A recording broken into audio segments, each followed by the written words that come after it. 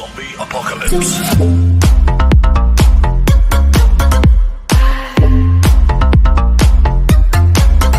Hey guys, it's Chris Morton TV here. Welcome back to another video. And today's video is our score update. It's the reserve game today, and and it's like a away Queen Show. But I'm not going. I'm just doing the score updates uh, for the game. So let's go on the way. I'll tell the team lineup while I give you my prediction. And goal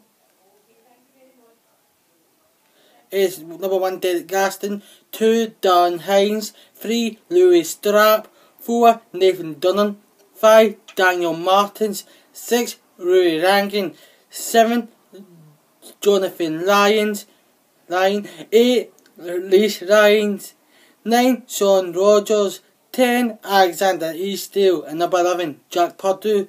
On the bench is Lewis McGrattan, fourteen Kyle Kieran Brophy, 16 Gavin Watt, and substitute goalkeeper is Daniel Farrell. My prediction, I'm going to go for 2 1 to Morton. I think Langan and Pardew will get a goal. Hope we can get the win. Monotone. Well, there wasn't up too much today's game. It finished 27 0 Morton now. Uh, disappointing uh, not get a win. I seen on Twitter, um, Morton has a couple of decent chances, so is Queen said, but we on Twitter they said Morton should have a penalty, a clear penalty, but Langley got pulled in, but the referee gave nothing. So we can take positives in that game, so it's nothing. So thanks for watching this score update. Um, this is only score update I give you and not been a goal in it. So thanks for watching. And can I have a shout out please to Reese Parson? If this is last time I'm going to give him a shout out. Please everybody get him to a thousand. Look.